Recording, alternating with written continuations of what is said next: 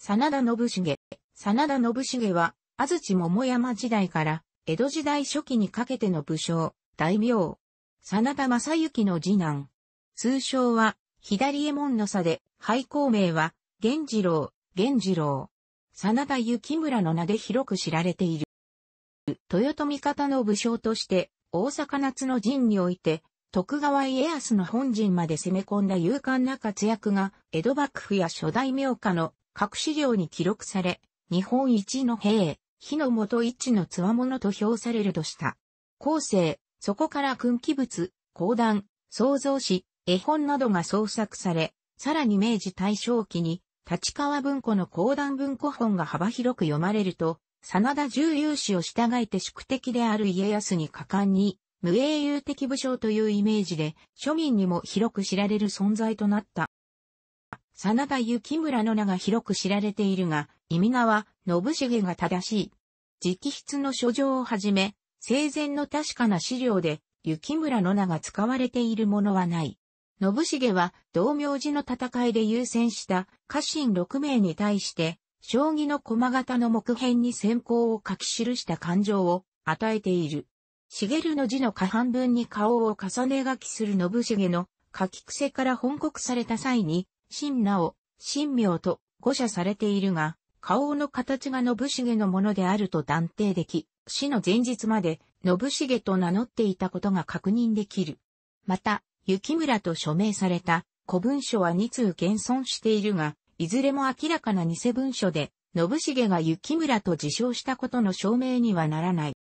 雪村の名が見られるようになったのは、夏の陣が終わってから60年近く経った漢文12年、1672年に刊行された軍記物の南波戦記がその書出であるとされる。南波戦記では、正幸の次男、左衛門の佐幸村や、真田左衛門の上雲の幸村との名乗りで登場するが、前日のようにこの名乗りを実際に使用した形跡はなく、大阪入り後の書状でも、信繁を用いている。しかし、雪村という名前にも説得力があった。公は、真田家や、真田家の本家にあたる、雲野家の通詞であり、また、村については、徳川家にあだなす与党村正が由来に利用された。俗説ではあるが、村正は、雪村の博士であったとか、解釈に村正が用いられたとかいう話がある。もちろん、これらは語伝であるが、話に、尾ひれがついたことで、雪村の名は、元禄時代に白知られていた。そのため、元禄14年、1701年に書かれた、桃源維持、徳川光国の原稿録ではすでにもう、編集者の三木幸本、宮滝与貞、牧野和宝がわざわざ、雪村は誤り、新直が正しいと書き記したほどである。もっとも、新直というのも誤っている。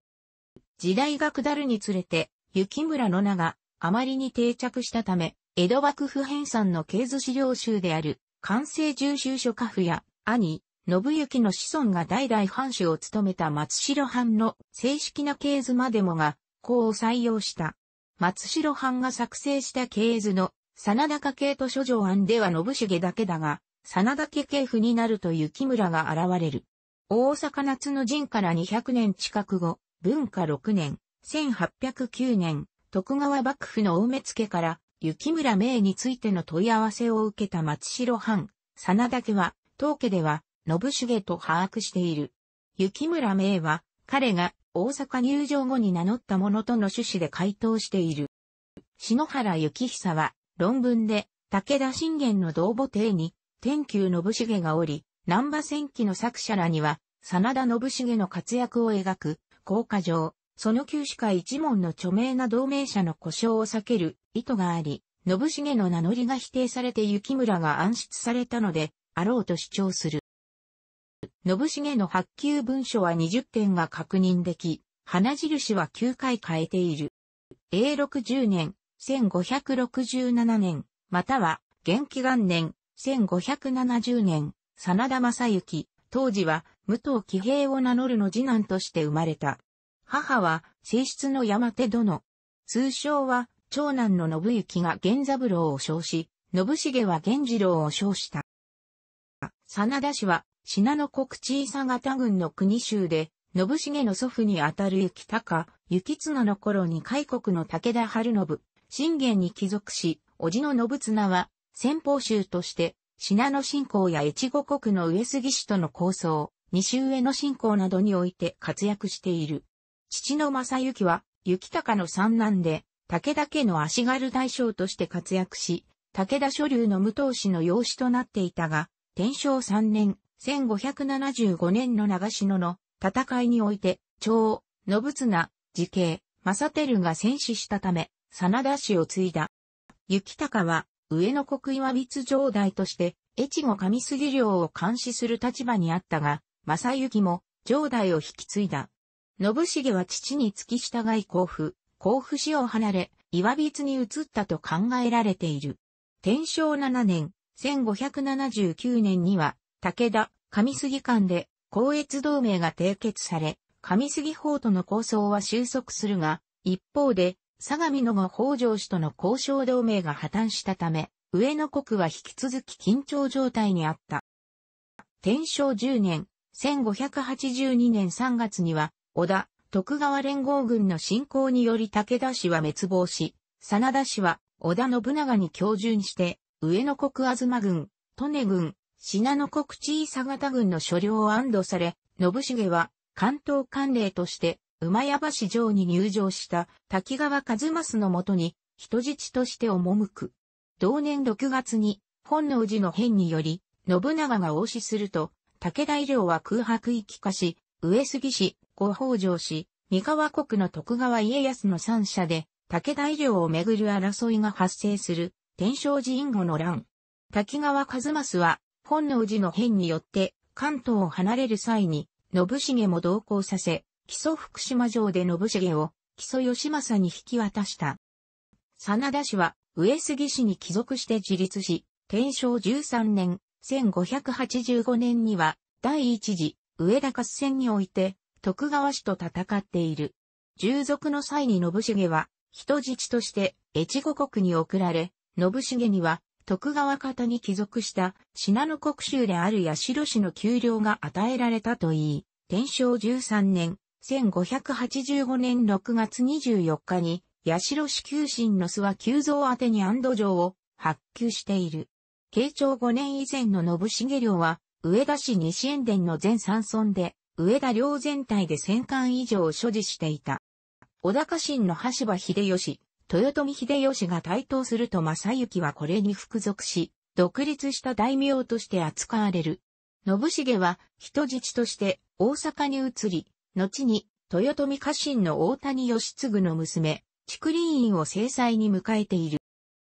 天正17年、1589年、秀吉の命で、信行は沼田城を五北条氏へ引き渡したが、北条氏直が最低に逆らって、名ぐるみ城を攻めたことで、12月に小田原征伐が号令される。翌年の遠征に際しては、正幸、信行は、前田利家、上杉景桂と松井田城、美濃和城攻めに、信重、義継は、石田三成の指揮下で押し城攻めに参戦したと伝えられる。文録の役においては、大木崎院伝五次石公によれば、正幸、信行と共に、肥前名古屋城に700名を率いて在陣している。松浦小敷によると、三の丸五番種の大間回り組の中に信重の名がある。文禄三年、1594年11月2日、15位下左衛門の差に除任されるとともに、豊臣姓を可視される。この、信重の立身には、楽府の義継とその母である、東殿の意向が反映されていた。豊臣政権期の信重の動向は、資料が少なく、詳細は分かっていない。文禄3年の除任も、資料自体はあるものの、さらに確認するための別の資料による裏付けは、困難でもある。ただし、近年の研究によって信重が秀吉の馬回り衆であり、正幸とは別に1万9000国の治療を有していたことが分かっている。信重は豊臣政権から伏見城の不審薬を課され、大阪、伏見に屋敷を与えられるなど独立した大名として、偶されていた。一方で、地業地の支配については、原正貞ら、正幸の家臣に任せていた。秀吉死後の慶長5年、1600年に五大老の徳川家康が同じく五大老の一人だった会津の上杉影勝討伐の兵を起こすとそれに従軍し、留守中に五奉行の石田三成らが挙兵して関ヶ原の戦に至ると父と共に西軍に加勢し、妻が本田忠勝の娘、小松伝であるため東軍についた兄、信行とたもとを分かつことになる。東軍の徳川秀忠、家康の三男勢は、中山道制圧を目的として進軍し、正幸と信繁は、居城上田城にこもり、三万八千の徳川軍を城に立てこもって迎え撃った。少数の真田隊に手こずった秀忠勢は家康からの上洛を命じられ、攻略を諦めて去った。また、秀忠勢が去った後も海津上昇の森忠政は、桂尾城に井戸上門配下の兵を置いて、上田城の動きを監視させていた。これに対して信繁は9月18日と23日の2度、打って出て、陽内と朝掛けを観光している。9月15日、西軍は秀忠率いる徳川軍主力の到着以前に、関ヶ原で敗北を喫する。正幸と信繁は、本来なら敗軍の将として、死罪を命じられるところだったが、信行とその舅である、本田忠勝の取りなしがあって、高野山配慮を命じられるにとどまり、12月12日に上田を発して、木の国に向かう。はじめ高野山にある蓮華天院に入り、ついで九度山に移った。実居中の慶長16年、1611年に、正幸は死去。慶長17年、1612年に信繁は出家し、幸四郎と名乗った。慶長19年、1614年、方向寺証明事件をきっかけに、徳川氏と豊臣氏の関係が悪化する。大名の加勢が期待できない豊臣家は、浪人を集める策を取り、久田山の信繁のもとにも、死者を派遣して、黄金200枚、銀30貫を送った。信繁は国元、上田にいる父、正幸の求心たちに参戦を呼びかけ、久戸山を脱出して、着南大女交渉とともに大阪城に入った。大阪で信繁の率いた軍は、鎧を赤で統一していたという。慶長19年、1614年の大阪冬の陣では、信繁は当初からの大阪城老城案に反対し、まずは京都市内を支配下に抑え、大見国瀬田、現在の滋賀県を移し、瀬田川の瀬田橋付近まで積極的に打って出て、徳川家康率いる軍勢を迎え撃つよう主張した。その作戦案に浪人衆は賛成を表明するか結局受け入れられずに終わる。大阪城への籠城策が決定すると、信繁は大阪城の最弱部とされる三の丸南側、玉造郊外に真田丸と呼ばれる土作りの出城を築いたが、千田義弘によると、大阪城の実際の最弱部は、上町台地の中央部、真田丸の西のあたりであるとされる。信繁は地形の高低差が少なく総堀の幅も狭い真田丸というと出部を築くことで、真田丸に敵の注意を引きつけ、大阪城の真の弱点を見逃しやすくしたのである。さらに真田丸の背後には幅200メートルにも及ぶ深い谷があり、信繁は真田丸がたとえ落とされたとしても、その谷が大阪城を守り続けてくれると見越して、この場所に真田丸を築いたのであると指摘している。さらに、半円形と言われてきた真田丸は、浅野家文庫諸国古城の図が再録した、津真田丸の絵図を調査した千田義弘により、不定型であったことが判明した。この戦闘で信繁は、寄せ手を撃退し、初めてその武名を天下に知らしめることとなる。なお、この真田丸を作る際、王の春長をはじめとする豊臣方の他の武将は、これを信繁が徳川方に寝返るための下準備と疑っており、警戒していた。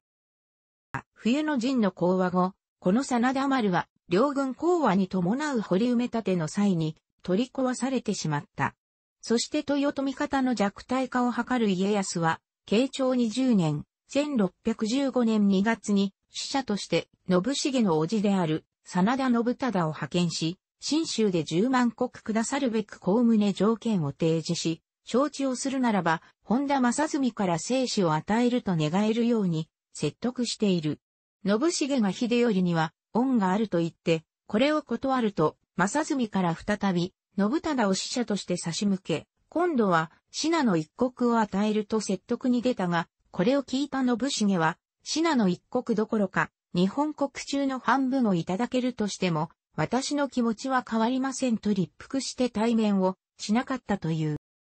慶長20年、1615年の大阪夏の陣では、道明寺の戦い、5月6日に参加。伊達政宗隊の先方、片倉重長を銃撃戦の末に一時的に交代させた。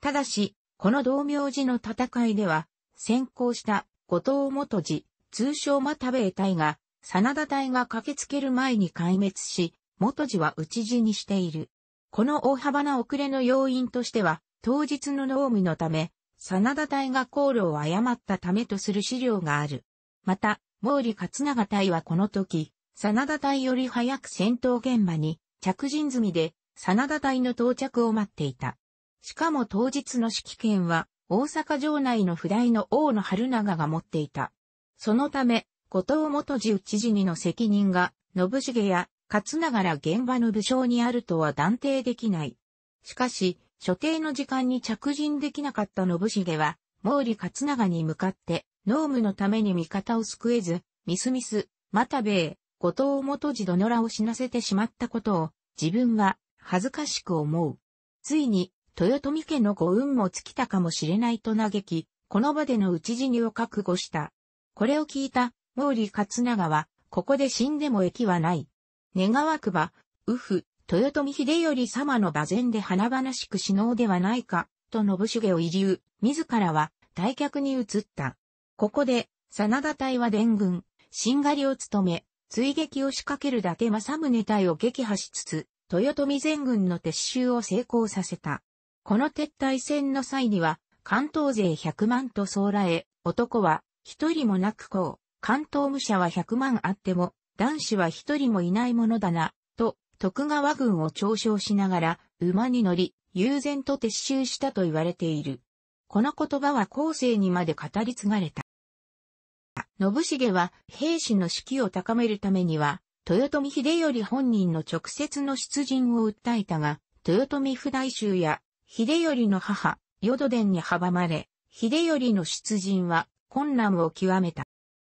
5月7日、信繁は王の春房、明石正則、毛利勝長らと共に最後の作戦を立案する。それは、右翼として、真田隊、左翼として、毛利隊を四天王寺、茶臼山付近に布陣し、射撃戦と突撃を繰り返して、家康の本陣を孤立させた上で、明石正則の景気兵団を迂回、待機させ、合図とともに、これを吸収、横撃させるというものだった、とされている。先方の本田忠友の部隊が、毛利隊の前衛に向けて発砲し、射撃戦を始めた。信繁は、かねての作戦計画に祖母をきたすため、毛利隊に射撃中止の伝令を使わし、勝長自身も中止を促したが、射撃戦は激しくなるばかりで、ついに本格的な戦闘へと突入したため、作戦を断念せざるを得なくなった。これを受けて信繁は、軍滅家の生縁優に向かって、文つなきことを嘆き、己の死を覚悟したという。そして死を覚悟した信繁は、徳川家康本陣の身をめがけて、決死の突撃を敢行した。この突撃は、真田隊のみではなく、毛利、明石、王の春房隊などを含む豊臣諸部隊が前線に渡って奮戦し、徳川勢は総崩れの間を呈するに至った。信繁率いる真田隊は、越前松、平家の松平忠直隊、1万5千の大軍を突破、合わせて10部隊以上の徳川勢と交戦しつつ、ついに家康本陣に向かって突撃を敢行。聖で知られる徳川の親衛隊、旗本、重臣勢を蹂躙し、家康本陣に二度にわたり突入した。真田隊の攻撃のあまりの凄まじさに家康は、自害を二度も覚悟したほどだった。なお、家康の本陣が攻め込まれ、馬印が倒されたのは、三方ヶ原の戦い以来二度目であり、家康は武田屋ゆかりの武将に二度馬印を倒されたこととなる。王の春長は、秀頼の出馬は、今しかないと考え、自ら根性しようと大阪城に引き返した。しかしこの時、春長は、秀頼の馬印を掲げたまま帰ろうとしたため、退却と誤解した大阪府の人々の間に、動揺が走り、落胆が広がった。さらに城内で、火の手が上がったことで、前線で奮闘していた大阪府の戦意が鈍った。徳川家康はこれを見逃すことはなく、全軍に反撃を下示した。東軍は一斉に前進を再開し、大阪方は崩れ始めた。この時、真田隊は、越前、松平隊と合戦を続けていたが、そこへ岡山口から家康の危機を知って駆けつけた、井伊直隆の軍勢が、真田隊に横槍を入れて突き崩したという。真田隊は、越前、松平隊の反撃によって次々と討ち取られて、数が減っていき、ついには、備えが分断されてしまった。数度にわたる突撃での武重の疲弊も頂点に達した。兵力で勝る徳川勢に押し返され、信重は家康に肉薄しながら、ついに撤退を余儀なくされたのである。真田隊が撤退を始めたのを見た、毛利隊も攻撃続行を諦めた。こうして、大阪方は、総崩れとなって、大阪城への退却を開始し、天王寺口の合戦は、大阪方の敗北が決定的となった。信重は四天王寺近くの暗居神社、大阪市天王寺区の境内で木に持たれて傷つき、疲れた体を休ませていたところを、越前松平家鉄砲組頭の西尾掃除に発見され、わしの首を手柄にされよとの最後の言葉を残して討ち取られた。去年49、実際は、真田信重という首が多数あったと言われている。一方、近年発見された新資料では、生玉、生国魂神社の周辺と昭満、昭満院の周辺の間の高台で身を休めていた、信重に、西尾が相手を知らずに声をかけ、互いに下馬して、槍で戦った末に討ち取り、後に、陣中見舞いに来た知人が過去に、真田家に仕えていたことから信重の首と判明したと、記述されている。現在のところ、信重の愛用の闘争が何であったのかは不明である。講談や軍記物語では、信重のマナ槍は十文字槍とされ、これは両釜槍を強化して作られた細めの槍である。槍の柄は朱色に塗られ、真田の赤備えに恥じぬ瞑想であったと、講談や軍記物では語られている。信重の愛刀についても、刀は正宗、脇差しは貞宗とする話が有名だが、これは歴史書というよりも、歴史小説に近い明治初期の名称原稿録、明治2年、1869年に登場する説で、あ、他にも村正の大将を帯びたという説が有名だが、こちらは噂の出所が比較的古く、徳川光国の家臣が元禄14年、1701年12月に表した光国の原稿録、桃源維持まで遡ることができ、この書によれば、三国は、真田信直は、東将軍、家康を宿敵とみなしてから、常に戦士、村正の大将、内刀と脇差しの人揃いを手放さなかった。村正は、徳川家不吉の刀と聞いて、東将軍を長武、主殺する意図があったのだと聞く。武士とは、このように、常日頃から、このようなことにまで忠義に心を尽くすものだと、称賛していた言う。なお、実際に村正を大将で愛用していたのは徳川家康である。こちらは噂や伝説などではなく、尾張徳川家に伝来した由緒正しいものがあり、大将のうち、村正の脇差しは大正時代に売却されたが、徳川家康愛用の村正の内刀は、徳川美術館が所蔵し、今も展覧会などで見ることができる。信重の兄の真田信行の家系松城藩、真田家には、村正の弟子の戦士生への刀が伝来していた、信行のものかは不明ので、信重が村正を所有していたとしても、時代交渉的に不自然ではない。ただし、徳川家にたたるとする妖刀伝説が発生したのは家康の死後なので、その場合は、ただの技物としての村正ということになる。上記以外にも、信重、雪村の活躍は、後世、伝承として、各大名家などの文書に記録され、武君にあやかろうとした諸将が信重の首から遺髪を、こぞって取り合いお守りにしたと言われ、真田信重の墓所、正確には供養墓、供養塔は、以下の複数が確認されている。また、逃亡伝説に基づいた墓所も全国に点在する。信重には多くの子供がいたが、久田山へ幽閉される以前は女児しかおらず、嫡男の大助、真田交渉は、幽閉地の久戸山で生まれた。交渉は、大阪城にて子を残さぬまま自害したため、真田氏における、この系統を与えた。三男の三好幸信が生まれたのは、慶長20年の7月であり、信重は、この2ヶ月前に討ち死にしている。ただし、所流には、以後も系譜があった。次男の第八、真田主神は石投げで死亡したという記録もあるが、伊達家重神で後に三女アバイの夫となる、片倉重長の下で、姉たちと共に保護され、後に元服し、片倉出身となった。これが、仙台真田家として、現在も続くこととなる。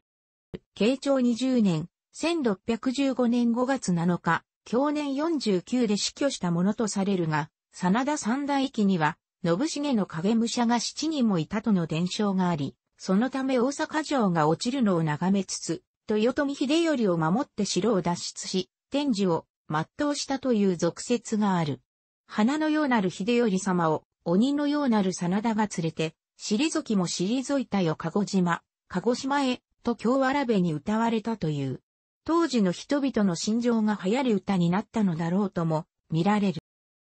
真田三大記は、江戸中期末期に成立した真田幸隆、正幸、幸村、同期での表記の三代が徳川を相手に奮闘する物語である。後に生まれる真田重勇士のうち、穴山小助、三好清見入道、三好伊蔵入道、根津陣八といった武将が登場する。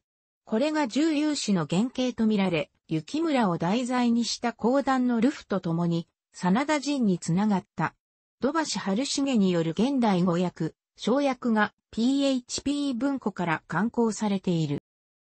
真田幸村の10人の中心として、著名な真田重勇士は、南波戦記や真田三大記を定本して、大正時代に一世を風靡した立川文庫で講談として創作された。この書き講談は、真田諸国万有記など二十数巻あるが、特に、猿飛佐助が好評を博したことで、俗巻が次々と作られることになった。真田領の近くには、忍びの里として有名な戸隠の里の伝承があり、いわゆる現在の雪村伝説と彼を取り巻く重勇士という組み合わせは、明治末から大正、昭和にかけて子供の人気を集めた。